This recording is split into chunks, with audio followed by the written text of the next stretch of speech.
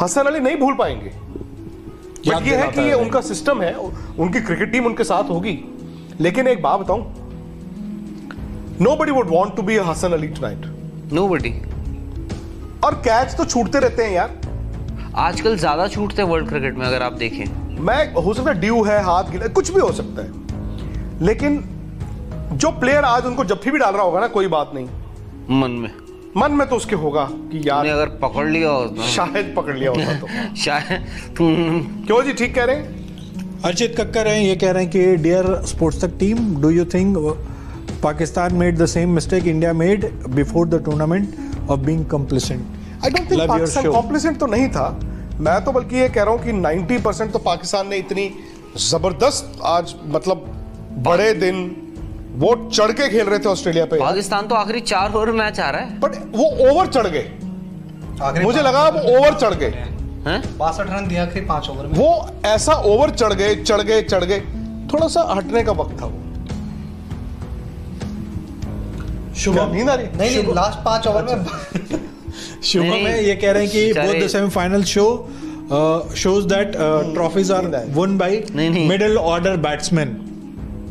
वो कह रहे हैं कि ट्रॉफीज मिडिल ऑर्डर बल्लेबाजों देखो हैं। और आपके पास? अब माजरत है। इस वर्ल्ड कप में स्पोर्ट्स तक का लफ्ज क्या है? माजरत। माजरत। हम क्योंकि इंडिया के साथ भी माजरत हुई। आज पाकिस्तान के साथ भी माजरत हुई तो नहीं नहीं पाकिस्तान अच्छा खेल गया दे शुड बी प्राउड माजरत है यार देखो आप जितना मर्ज़ी अच्छा खेल लो राहुल प्राउड प्रूड जो मर्ज़ी कह लो। सर, आप नहीं कब जीतते नहीं कब जीतते। आपने एक मिनट आप चैंपियंस ट्रॉफी फाइनल में प्राउड क्यों नहीं हुए? क्योंकि आप फाइनल हार गए ना। आप 19 2019 वर्ल्ड कप को का ट्रेजेडी क्यों सवाल है? कि क्या आप पाँच आउट होने के बाद मैच जीत सकते थे exactly sir 2019 world cup semifinal हारे ना वो भी। तो आपके मुल्क में क्यों हमारे देश में क्यों हो गया था? आई थिंक सर उस दिन देखिए चैंपियंस ट्रॉफी फाइनल चलो 2019 वर्ल्ड कप कब था? 2019 में मान लूँगा। तो फिर आप तो खेले ना अच्छा। आप पूरी टूर्नामेंट अच्छा खेले हार गए ना एक दिन। इन दी एंड तो राहुल आपने बख्शा कहा उन्हें? इन तो मैं क्या basically you are giving a message कि भाई छोड़ना मत हैं? नहीं नहीं नहीं हमने भी नहीं छोड़ा था, आप भी मत छोड़िएगा। हम मीडिया में हमारे जो साबिक खिलाड़ी है यार हम बना देते हैं इतना बड़ा बना देते हैं। वो गलती हमने की वो गलती पाकिस्तान ने की। मैं आपको कल भी बता रहा था। शुभम शर्मा भी यही कह रहे हैं कि सर आपको क्या लगता है कि इंडिया वर्सेस पाकिस्तान मैच को मीडिया इतना हाइप कर देता है कि उसमें खिलाड़ी प्रेशर में आ जाते हैं? पाकिस्तान को इतना ज़रूर फ़ायदा हुआ है इस वर्ल्ड कप से कि बिकॉज़ उनके यंग कप्तान ने रिजवान ने ऐसी क्रिकेट खेली है। शाहिनशाह अफरीदी ने ऐसा बॉल डाला है कि दुनिया देख रही है। उनको इंग्लैंड ने वापस आके माफ़ी मांग के कहा जी माजरत के साथ और टी ट्वेंटी खेलेंगे। ऑस्ट्रेलिया ने टेंटेटिवली एक दौरा अपना अनाउंस कर दिया है। So there would be teams there would be countries would want to play Pakistan now भाई एक महीना पहले तो सब भाग रहे थे। अचानक से वो मुल्क आएँगे ना जो उनको आ, खेलेंगे। तो उनको ये फ़ायदा हुआ है। प्लस मुझे लगता है बाबर आज़म के लिए। राकेश कुमार यंग करियर में बाबर आज़म ने यंग मतलब इस स्टेज पे बाबर आज़म ने जो बैटिंग की है और बाबर आज़म ने जो कप्तानी की है। आई एम श्योर हार के वक्त बाबर आज़म टीम के साथ बैठे हो और उनको ये कहा हो घबराना कि ये डेस्टिनेशन नहीं है। मंजिलें और भी हैं। अभी तो अगले साल है हमें मलिक और मोहम्मद हफीज को लेकर जाना। फ़ायदा हुआ या नुकसान हुआ? नुकसान। क्यों? आपको एंड में जाके पता चलता है सांप सीढ़ी जो लूडो होती लूडो नहीं वो सांप सीढ़ी कहते हो आप जो? कि भाई सभी उसको सांप सीढ़ी कहते हैं। हाँ वो एंड में ही पता चलता है। अच्छा एक और मेरी माजरत के साथ आप सबसे गुजारिश है। इधर भी माजरत है। मैं एक छोटी सी रिक्वेस्ट करना चाहता हूँ सबसे कि यार सानिया मिर्ज़ा को ट्रोल ना किया जाए प्लीज़ कौन कर रहा है? चलिए। कम ऑन यार। कम ऑन राकेश कुमार आपकी आवाज़ गूंज रही है ऐसा लग रहा है। हाँ वो मैंने एक बार बोलिए थोड़ा और दोबारा कम ऑन वो लगाया मैंने इसके अंदर। एम्पलीफायर हाँ वो, वो उसके स्पीकर हैं। Woofer woofer hello hello hello हमारे वूफर कहाँ गए यहाँ वाले? गए गए। घर? राकेश कुमार है ये कह रहे हैं मुझे लगता है कि पाकिस्तान असली टेस्ट ही नहीं हुआ था लीग स्टेजेस में। आज एक पहला प्रश्न मुकाबला हुआ टेस्ट हुए थे। देखिए उनका मिडिल ऑर्डर टेस्ट हुआ वो आसिफ अली निकाल करे। ठीक है? आज मैं फिर भी मानता हूँ यार देखिए इस टूर्नामेंट का उनका हाईएस्ट स्कोर है अगर वो हल्की टीमों को छोड़ दिया जाए एक आधी। 177 मारे उन्होंने। लेकिन वो इस सिचुएशन में नहीं आए थे ना कि, जैसी तरीके की सिचुएशन आज आ गई क्योंकि वही बात ऑस्ट्रेलिया फखर जमान ने रन बनाए हैं जिन्होंने नहीं बनाए थे। रिजवान। मोहम्मद हफीज की तो ज़रूरत ही नहीं पड़ी। वो बेचारे एक ओवर भी उन्होंने डाला तो माजरत हो गई उसमें भी वो बॉल गिर गया। शोएब मलिक ने पिछले मैच में रन बनाए।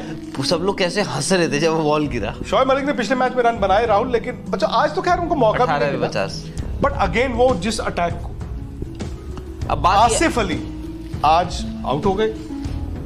उनकी गेम ही ऐसी है। लेकिन ये चीज़ होती है जब आप एक ही टीम के साथ खेलते रहते हैं जीतते रहते हैं तो एक क्रैक आता है कभी ना कभी। वो हसन अली को कैरी कर रहे थे।